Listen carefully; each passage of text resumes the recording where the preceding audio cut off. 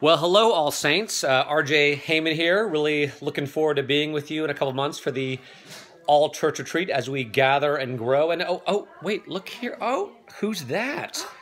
Hi, everybody. How's it going? Great to see you, All Saints. I hope you all have a great retreat this year, and please sign up. I know Sarah Boone would love you too.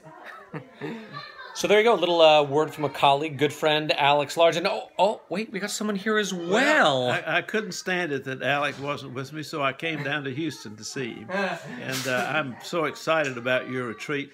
I wish I was going to be there, but I, I, can tell you that it's nothing like going on a retreat and having an opportunity to be with uh, Christians in the parish and to let the Lord bless us in so many ways. God bless you. Bishop Salmon. So, uh, I'm looking forward to being back in my old stomping grounds. I actually lived in Kenwood in 82, 83, hence I'm a Redskins fan. Uh, went to Norwood for a year and can't wait to get back there to be with my good buddy Nate Lee and Mark Miller. And I understand we're going to be doing some singing Saturday night around the campfire with some s'mores. So can't wait for that and, and uh, look forward to seeing you all real soon. All right, until then. Au revoir.